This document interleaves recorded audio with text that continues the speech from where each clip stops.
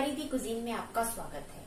आज मैं आपको बताने जा रही हूँ बहुत ही आसान रेसिपी जिसका नाम है vegetable pancakes but in Korean style I am sure ये बच्चों को बहुत पसंद आएगा, क्योंकि ये खाने में बहुत ही क्रिस्पी और हेल्दी है। तो शुरू करते हैं अपनी रेसिपी इसके लिए सबसे पहले हमें चाहिए एक कप पतली कटी हुई लंबी गाजर, एक बड़ा प्याज, लंबा कटा हुआ, एक बाउल पतली लंबी कटी हुई शिमला मिर्च, थोड़े सी ग्रीन प्याज, स्वाद अनुसार हरी मिर्ची और कुछ टुकड़े पनीर के। सारी सब्जियों को मिक्स करने के लिए हम एक बाउल लेंगे। उसमें एक कप गाजर डाल दें। लंबी कटी हुई शिमला मिर्च डाल दें। स्लाइस किए हुए अनियन डाल दें। और अपना हरा प्याज डाल दें। स्वाद के अनुसार हरी मिर्ची डाल दें। और अब हम इसमें एक कप अंडा डालेंगे। एग को हमने अच्छे से फेंट लिया है। अब हम इसमें मिला देंगे। अब इसमें एक कप मैदा मिला दें।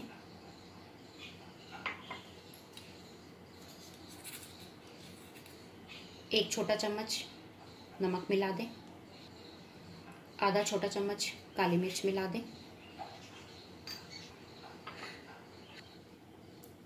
इन सबको अच्छे से मिक्स कर लो। इसमें थ्री फोर्थ कप पानी डालेंगे और अच्छे से मिला लेंगे। हमने इसे अच्छे से मिक्स कर लिया है। अब हम इसे एक पैन में डालेंगे। सबसे पहले हम पैन में दो बड़े चम्मच ऑयल लेंगे।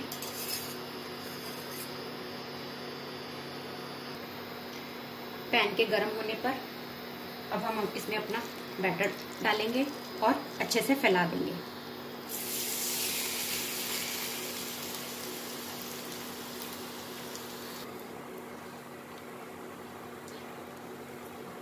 इसको स्पैचुले की हेल्प से अच्छे से फैला दें और मीडियम हाइट लो पे रखें। जब तक हमारा पैनकेक रेडी होता है, हम इस इसकी डिपिंग सॉस रेडी करते हैं। उसके लिए हमने दो टेबलस्पून सोया सॉस लिया। दो टीस्पून विनेगर, एक छोटा चम्मच चिली फ्लेक्स और ऑर्गेनो का डाला है, एक छोटा चम्मच सिसमी सीड और थोड़ा से स्प्रिंग अनियन।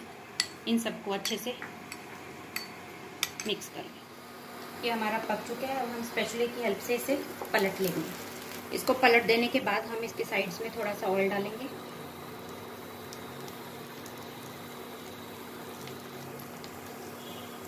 और इसे फिर से तीन से पाँच मिनट तक पकने देंगे। यह हमारी दूसरी साइड भी पक के तैयार हो गई है। अब हम गैस बंद कर देते हैं। हमारा वेजिटेबल पैनकेक डिप सॉस के साथ सर्व करने के लिए रेडी है।